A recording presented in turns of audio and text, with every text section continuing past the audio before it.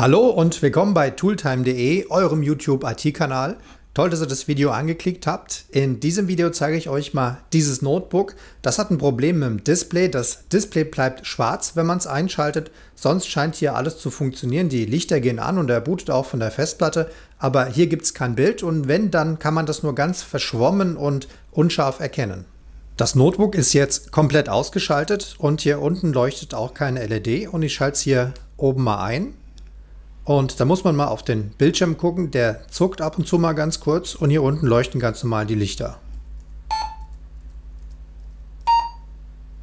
Nach dem Einschalten hat der Bildschirm zweimal ganz kurz geflackert. Ich habe dann F2 gedrückt, um bei dem Notebook ins BIOS zu gehen und das Notebook ist auch jetzt im BIOS. Nur man sieht das hier auf dem Bildschirm nicht oder ganz schlecht. Da ist die Hintergrundbeleuchtung ausgefallen und wenn man hier mit so einer Lampe so seitlich reinleuchtet, dann kann man das BIOS erkennen. Um das zu erkennen, muss man sich neben das Display stellen und mit einer Lampe hier von oben rein leuchten und dann sieht man auch die Buchstaben, die das BIOS hier anzeigt. Hier jetzt nochmal in der Nahaufnahme und das ist das BIOS und da kann ich dann verschiedene Einstellungen drin vornehmen. Hier hat man also ein funktionierendes Notebook mit einem defekten Display das Display selber ist aber auch nur teilweise defekt. Das ist also in der Lage, hier die einzelnen Pixel darzustellen und die einzelnen Buchstaben. Aber die Hintergrundbeleuchtung ist ausgefallen, die ist defekt.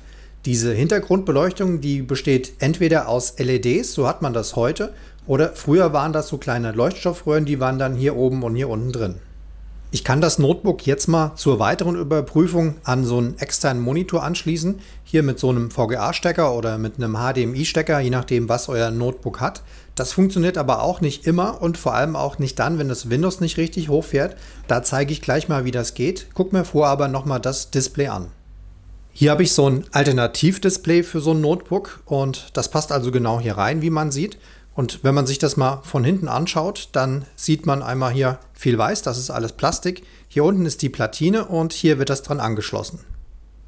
Das hier ist das Display einmal rumgedreht, also hier ist oben und hier ist unten und hier oben ist nochmal so eine Blechabdeckung, die habe ich schon mal abgemacht, das ist Metall.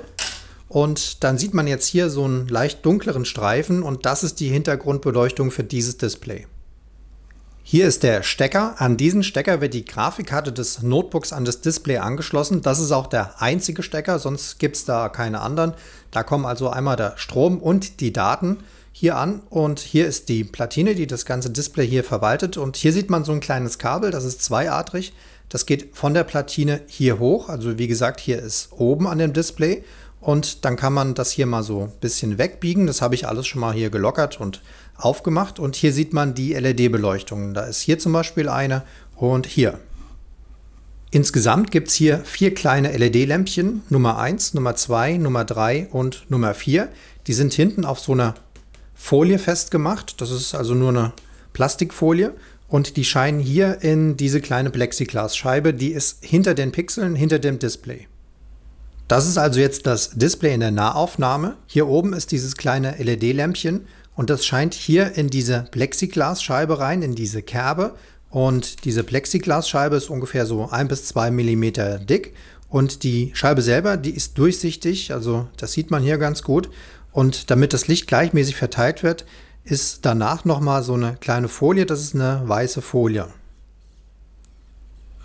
Danach kommen nochmal verschiedene Folien. Das sind Farb- und Polarisationsfilter und hier vorne gibt es dann nochmal eine Scheibe. An der oberen Seite kann man also quasi nichts reparieren. Da gibt es nur diese LEDs und ich schaue hier unten nochmal die Seite an mit der Platine drauf. Hier am unteren Ende des Displays ist die Platine und da ist nochmal so eine Folie drüber, die ist ein bisschen festgeklebt, die habe ich schon mal ein bisschen abgemacht. Da kommt man hier an die Platine dran. Die Platine selber, die ist nur auf der Vorderseite bestückt, also hier hinten ist gar nichts drunter und ich schneide mal hier dieses Kabel zur Hintergrundbeleuchtung durch. Jetzt ist das Display natürlich kaputt, aber das war es vorher auch schon. Insofern kann man das mal auseinandernehmen und so sieht die Platine von hinten aus, da ist also nichts drauf. Hier unten sind drei Flachbandkabel, die gehen von der Platine in das Display rein und ich nehme das Display mal hier aus diesem Metallrahmen raus. Jetzt habe ich also zwei Teile. Einmal hier den Hintergrund, die Hintergrundbeleuchtung und hier die Plexiglasscheibe und das ist hier so ein bisschen silbern, damit das Licht besser reflektiert wird. Und dann habe ich hier das Display mit der Elektronik. Das sieht dann so aus. Dieses Display, was ich hier auseinandergebaut habe, das war vorher schon kaputt und das sieht man auch hier sehr deutlich. Das ist hier zersprungen, da ist wahrscheinlich mal was auf den Bildschirm draufgefallen. Und was man noch sieht, man kann hier praktisch nichts reparieren. Das ist einmal verpresst, das ist vergossen. Da hat es hier die Elektronik, die geht mit diesen Flachbandkabeln hier in dieses Display rein, um die einzelnen Pixel darzustellen. Und da kann man nichts austauschen. Also wenn so ein Display kaputt ist, dann muss man das komplett wechseln.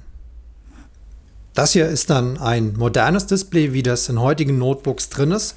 Und hier habe ich noch ein Alternativdisplay. Das ist eins, wie es früher drin war. Das arbeitet noch mit einem Inverter.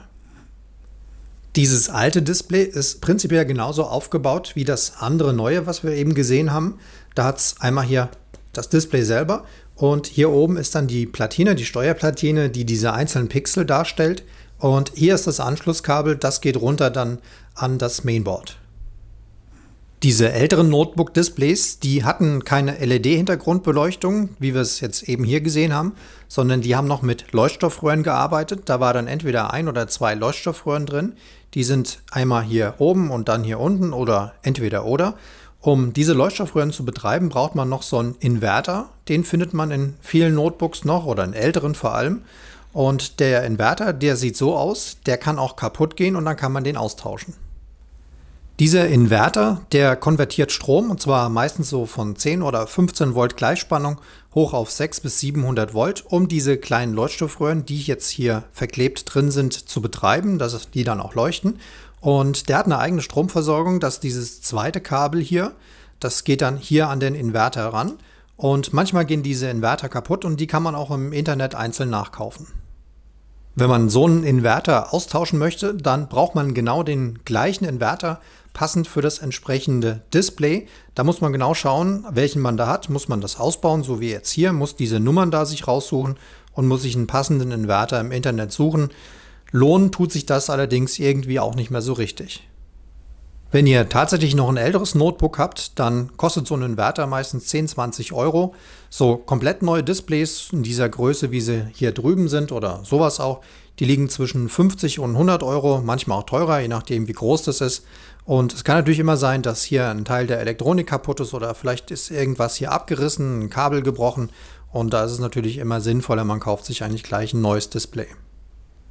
Wenn ihr ein Display habt mit einer LED-Hintergrundbeleuchtung, und das sind die meisten mittlerweile, eigentlich fast alle, dann hat es hier auch gar keinen Inverter, dann kann man da auch natürlich keinen austauschen, dann braucht man sowieso ein neues Display. Bevor man sich da jetzt ein neues Display kauft für das Notebook, sollte man erstmal ausprobieren, ob das Notebook selber mit einem externen Monitor funktioniert. Da habe ich jetzt mal hier den Stecker rangesteckt und schalte das mal ein.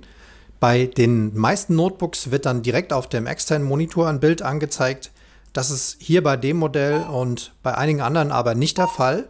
Und wenn das bei euch nicht der Fall ist, dann liegt es am BIOS.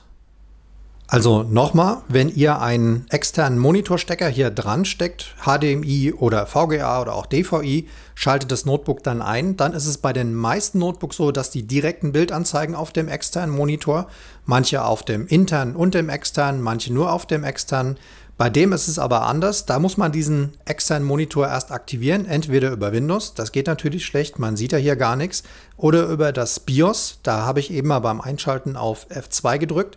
Jetzt wird das BIOS angezeigt und jetzt muss man unter Zuhilfenahme von der Taschenlampe das tatsächlich einstellen. Neben so einer Lampe braucht man auch ein bisschen Fantasie, um sich hier im BIOS ein bisschen zurechtzufinden. Und wenn man hier reinleuchtet, dann kann man das ganz gut lesen, wenn man neben dran steht. Im Video sieht man das nicht so gut, also das Video bildet das nicht so gut ab, wie wenn man da direkt daneben steht. Ich bin jetzt hier im BIOS-Menü drin und da gibt es einen Punkt, der heißt hier Boot Display. Das ist hier auf LCD eingestellt und das ändere ich mal auf CRT. Ich habe das jetzt mal geändert auf CRT, also auf normalen Monitor. Damit ist hier dieses Kabel gemeint. Und wenn man jetzt mal hier sich den Bildschirm anschaut, da sieht man auch so eine weiße Schattierung. Jetzt kann man das auch ganz gut lesen. Und jetzt speichere ich das BIOS ab und boote mal neu. So, jetzt habe ich mal neu gebootet und hatte das vorher geändert auf CRT-Monitor. Damit ist hier der externe Monitor gemeint und jetzt zeigt das Notebook auch ein Bild an. Jetzt kann man das BIOS auch mal hier mit der Kamera aufnehmen und zwar gibt es hier bei einigen BIOS-Versionen so einen Menüpunkt, der heißt Boot Display. Der ist jetzt hier auf Auto eingestellt, dann sucht er sich automatisch einen Bildschirm. Wenn er den extern findet, dann nimmt er den zuerst. Und da gibt es bei diesem BIOS die Möglichkeit Auto oder LCD. Manchmal heißt es auch intern oder extern. Das müsst ihr entsprechend einstellen, sodass der Monitor hier aktiviert wird. Jetzt kann ich hier von der Boot CD booten. Das ist die Ultimate Boot CD und da kann ich mir hier so ein System aussuchen. Da kann ich das Notebook mal hochfahren und die Grafik mal testen. Ich habe hier mal von der Ultimate Boot CD gebootet und das ist so ein Linux, was hier gestartet ist. Da sind verschiedene Testprogramme dabei, da kann man das Notebook jetzt mit testen. Wenn man nur die Grafikkarte testen will, dann reicht es eigentlich auch, wenn man das ein paar Stunden so laufen lässt. Und wenn das nicht abstürzt oder hier keine Punkte sind oder nichts grisselt oder keine Verschiebungen auf dem Bildschirm sind, dann ist die Grafikkarte von dem Notebook schon mal okay, dann hat die keinen Schaden. Dann reicht es, wenn man das Display hier auswechselt. Wenn ihr wissen wollt, wie man so ein Display hier ausbaut und austauscht und vor allem auch, wie man ein passendes im Internet findet und bestellt, da blende ich hier oben mal ein Video ein, da wird es dann gezeigt. Oder ihr geht auf die Seite tooltime.de und guckt unten mal in der YouTube-Videobeschreibung, da gibt es auch den Link auf diese Seite. Da gibt es einen Artikel, da wird gezeigt, wie man das ausbaut, wie man das richtige passende Display findet, bestellt und auch wieder einbaut.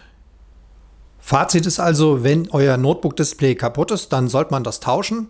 Da gibt es entweder die neuen Displays ohne Inverter, die kriegt man eh nur in einem Stück, das baut man am besten direkt um, oder es gibt diese Displays mit Inverter, die sind eigentlich veraltet. Das Austauschen von dem Inverter selber, das ist auch mal so ein bisschen riskant, das lohnt sich auch finanziell meistens nicht, da sollte man auch ein neues Display kaufen. Wenn euer Notebook-Display schwarz bleibt und euer externer Monitor, den ihr hier angesteckt habt, auch, dann müsst ihr das bei vielen Notebooks im BIOS umstellen. Bei einigen Notebooks funktionieren auch diese Tasten, diese Funktionstasten. Hier es zum Beispiel Fn und F4 zum Umschalten. Bei manchen funktioniert das aber auch nicht. Das hängt immer vom Notebook ab, kann man nie vorhersagen. Meistens funktionieren diese Tasten nur unter Windows. Hier bei diesem Notebook gibt es hier die Funktionstaste und hier gibt es die Taste F4 und die Taste F3. Da kann man das Display umschalten oder ausschalten. Die funktioniert aber gar nicht hier. Da muss erst das Windows gestartet werden und das Windows fragt diese Tasten ab. Ich hoffe, euch hat das Video gefallen und es hat euch ein bisschen was gebracht. Wenn ja, gebt ihm einfach einen Daumen hoch und wenn ihr noch Fragen habt, schreibt die einfach unten in die YouTube-Kommentare. Da antworte ich gerne drauf. Guckt einfach mal unten in die YouTube-Videobeschreibung. Da findet ihr den Link zu diesem Artikel auf die Seite tooltime.de. Da findet ihr noch weitere Bilder, Tipps und Tricks, Fotos und noch ein paar Infos. Schaut euch einfach mal um auf der Seite tooltime.de, da findet ihr noch hunderte andere Artikel und Videos zum Thema IT, zum Thema Handy, wie man Drucker repariert oder Notebooks auseinanderbaut, wie man Windows 10 installiert. Da sind mit Sicherheit auch noch jede Menge Sachen für euch dabei und würde mich freuen, wenn ihr den Kanal abonniert.